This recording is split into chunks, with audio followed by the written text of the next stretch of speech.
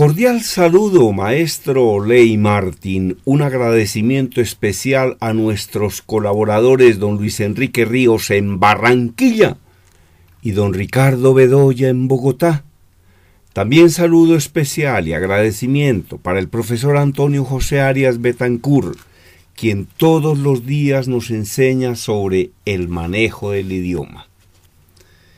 Le aprendemos lo que más podemos pero siempre hay que tener la mente abierta para aprender más. Christian Larson, prométete a ti mismo ser tan fuerte que nada pueda perturbar la paz de tu pensamiento. Habla de salud, felicidad y prosperidad a cada persona que encuentres. Sí, no estarles hablando todo el tiempo de tragedias, ¿no? Debes hacer que todos tus amigos asientan que hay algo de valor en ellos. Debes mirar siempre el lado bueno de las cosas y hacer realidad el optimismo. Debes pensar en lo mejor, trabajar por lo mejor y esperar solamente lo mejor. Debes alegrarte del triunfo de los otros como si se tratara del tuyo propio. Christian Larson. excelente escrito. Debes hacer que todos tus amigos sientan que hay algo de valor en ellos. Y en efecto hay algo de valor en todas las personas, ¿no? Borges decía, todas las personas son superiores a nosotros en algo y en ese algo les debemos aprender. Debes mirar siempre el lado bueno de las cosas y hacer realidad el optimismo. Debes pensar solo en lo mejor, trabajar por lo mejor y esperar solamente lo mejor. Eso me lo decía a mí en un seminario de Así se habla en público una persona que tenía una de esas casas con cupos para estudiantes. Decía yo solo acepto lo mejor para mí y me parece que esa es como una buena forma de pensar, ¿no? Solo acepto lo mejor, solo acepto lo mejor. Yo cada vez quiero aceptar solo lo mejor para mí, entre otras cosas porque uno cree que lo merece y para eso trabaja y para eso lucha. Porque qué tal uno diciendo, yo solo acepto lo peor para mí. Horrible.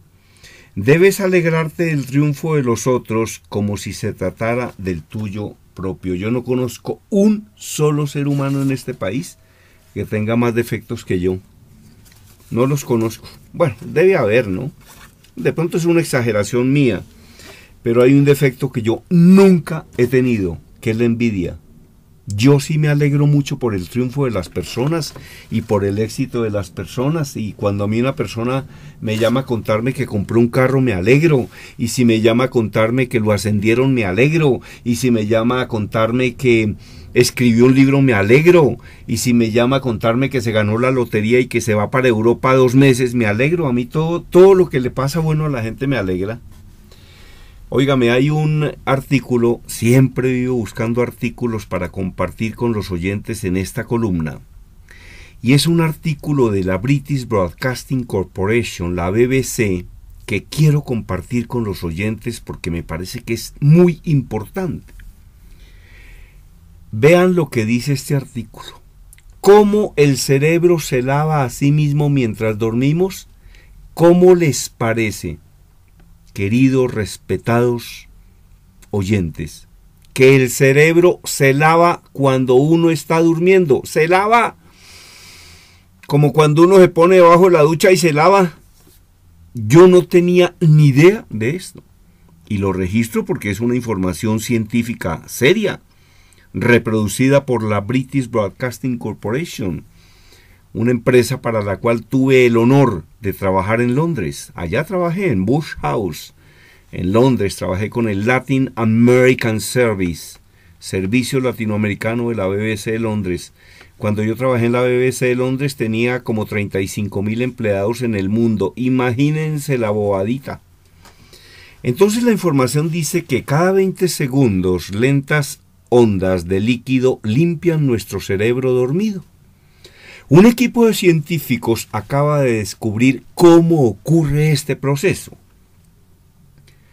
Cada 20 segundos, lentas ondas de líquido limpian nuestro cerebro dormido.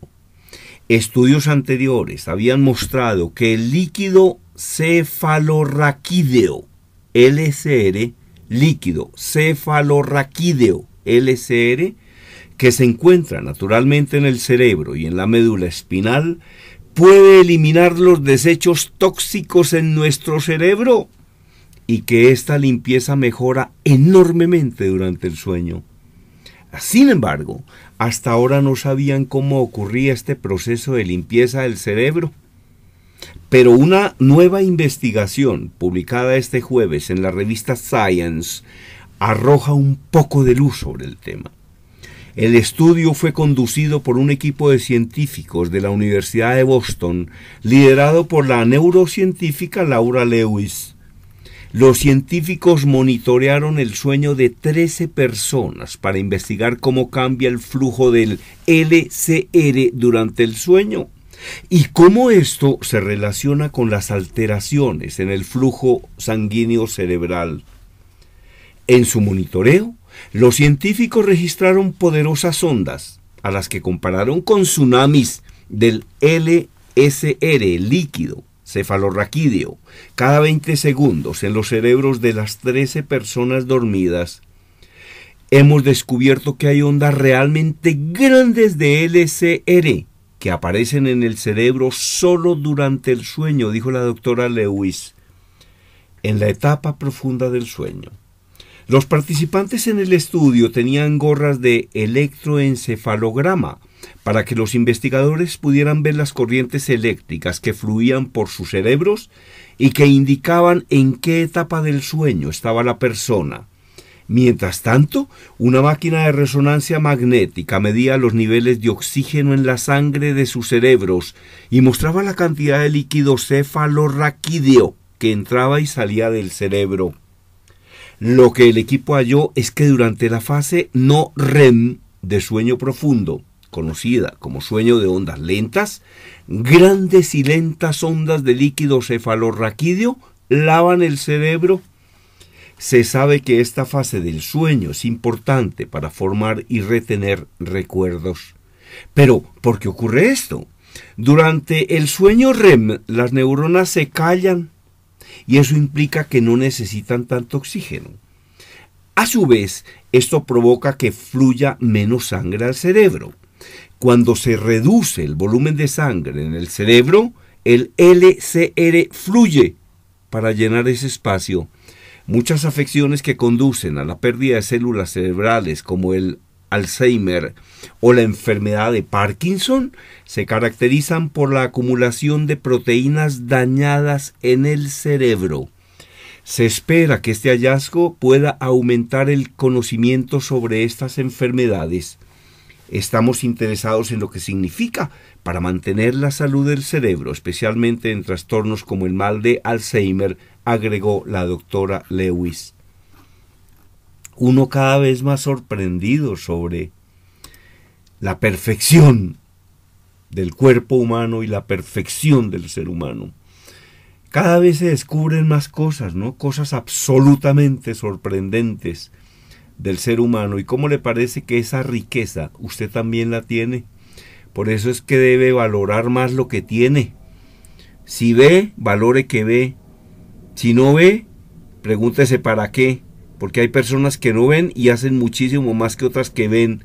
Si escucha, si escucha, agradézcalo. Si usted tiene olfato y yo no tengo, por ejemplo, dele gracias a Dios.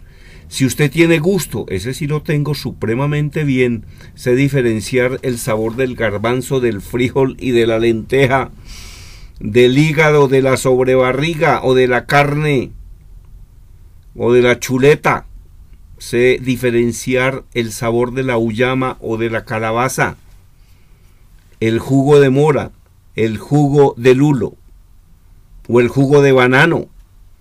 Gracias a Dios puedo hacer esto. Hombre, agradezca mucho la salud y vea la maravilla que es el cuerpo humano.